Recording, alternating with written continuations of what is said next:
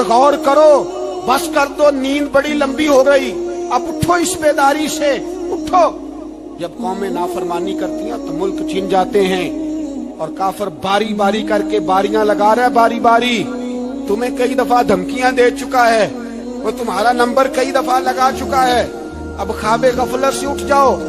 आग पैरों तक आ गई है। ऐसा ना हो जला डाले सारा कुछ।